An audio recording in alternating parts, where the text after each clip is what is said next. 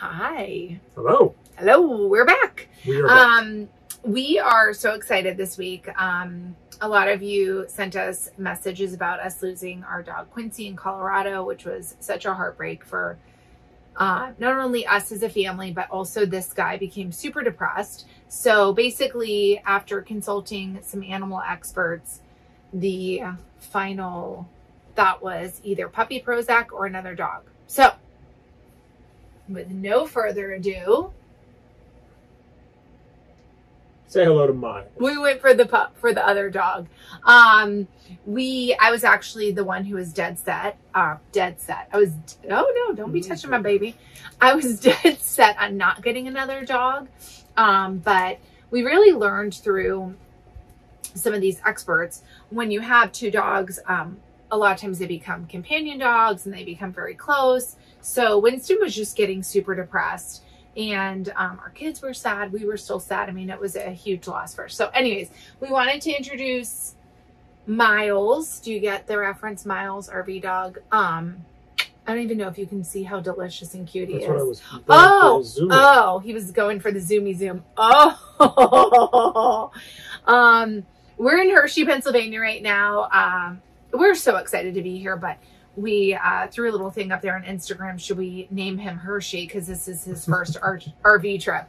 Um, so now that you guys have met him, you're going to see him on uh, Instagram and you'll see him on our YouTube. And we'll uh, we just did a really cool blog post about um, RV life with dogs and how do you facilitate that. I think we answered a lot of the questions we got. Their their plan. Um, Winston's being super patient, and um, yeah, I mean anything's doable. Uh, our biggest hurdle when we had Quincy and Winston was they had never been on a leash.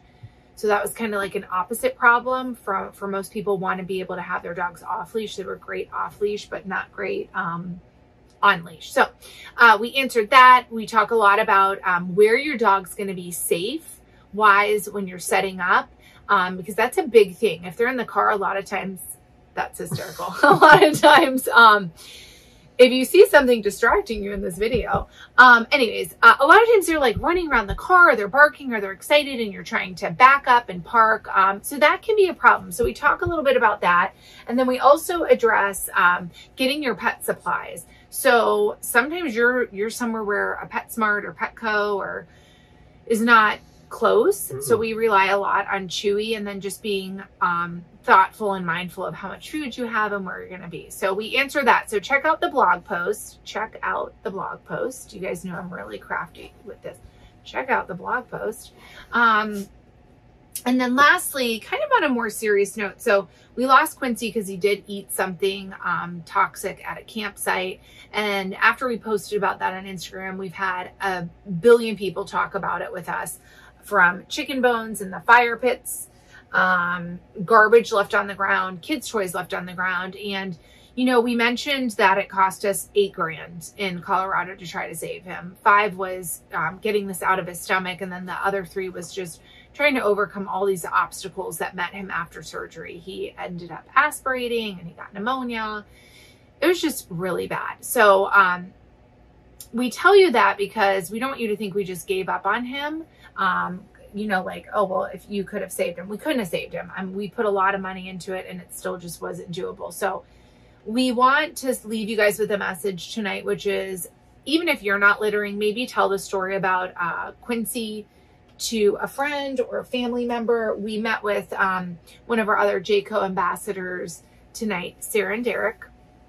Follow them. We absolutely love them. They're from Canada. They have two beautiful, beautiful Goldens, but they were saying the same thing. It's like a huge fear.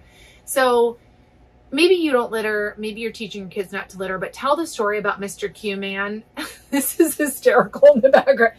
I feel like we should just have a oh boy, look at that. We should just have a whole thing about the dogs.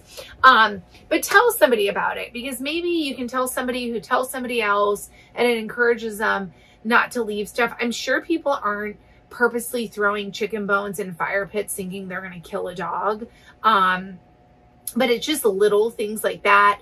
Today, where we are in Hershey, uh, right at our doorstep was the top of a bottle cap. Mhm. It's like so ideal for a dog to just pick that up, especially if you have a dog who likes to put things in their mouths. um, that bottle cap is not good for them. Um, and number one, it could kill the dog. Number two, it can kill the pet owner's pocketbook. Mm-hmm. I'm just keeping it real. I feel like I did all the talking tonight. That's okay. That's okay. Um, they did the show in the back. So, hey, let us know what you think about these guys. Um, I'm also going to give a shout out to our breeder. Uh, we love her. We're super impressed with her. Um, super impressed with how this guy came to us, his disposition. So these guys are English Cocker Spaniels. It is my favorite breed. I had one before. Are you trying to upstage me? I had one before I met Britton.